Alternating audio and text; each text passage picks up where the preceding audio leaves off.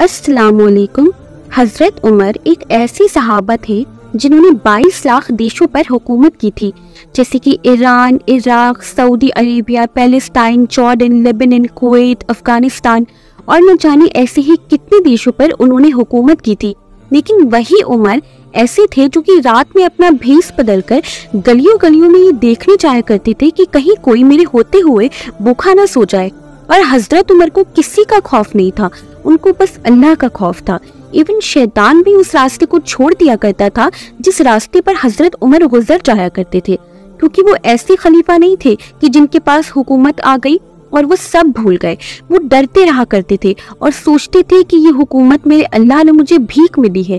क्योंकि अल्लाह ताला खुद फरमाते हैं कुरान में, अय्या सबुल इंसान तरीका सुदा कि तुम ये मत समझना कि बेकार में छोड़ दिए जाओगे। हर अमल का एक रीज़न अल्लाह के सामने बयान करना पड़ेगा कि या अल्लाह हमारा पड़ोसी भूखा सोया है तो या तो हमें पता नहीं लगा और अगर हमें पता चल गया था तो उसके घर तक खाना क्यों नहीं पहुँचा? वो भूखा कैसे सो गया? तो मैं बस आप लोगों से यही कहना चाहूँगी कि आप अच्छा खाएँ अच्छा पहने, लेकिन ये भी सोचे कि आपके आसपास कोई भूखा ना सो रहा हो तो आखिरत के दिन आप उसकी पकड़ का ज़रिया बन जाएँगे।